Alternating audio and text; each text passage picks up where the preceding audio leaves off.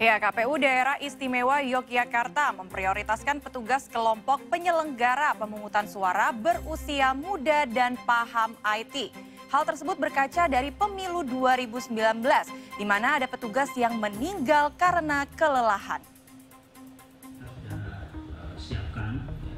Komisi Penyelenggaraan Pemilu Daerah Istimewa Yogyakarta mulai membentuk kelompok penyelenggara pemungutan suara atau KPPS sejak 11 Desember hingga 20 Desember mendatang.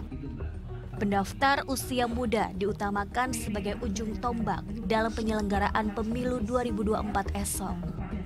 Batas usia sebagai KPPS adalah 17 hingga 55 tahun. Namun di Yogyakarta, KPU DIY memprioritaskan KPPS anak muda bukan tanpa alasan. Merujuk dari evaluasi pemilu tahun-tahun sebelumnya, banyak memakan korban jiwa meninggal dunia. Usia dan kesehatan ini menjadi salah satu kriteria yang penting dan di situ syarat kesehatan tidak sekedar cukup surat keterangan sehat sekarang tetapi mereka akan dilakukan screening kesehatan terkait dengan tiga hal tadi kolesterol, gula, dan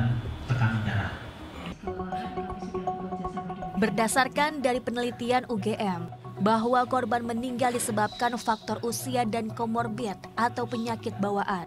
Komorbid yang menjadi penyebab KPPS meninggal, yakni hipertensi, gula atau diabetes, dan jantung. DIY membutuhkan sekitar 83 ribu orang panitia KPPS, sehingga setiap tempat pemungutan suara diisi tujuh petugas KPPS.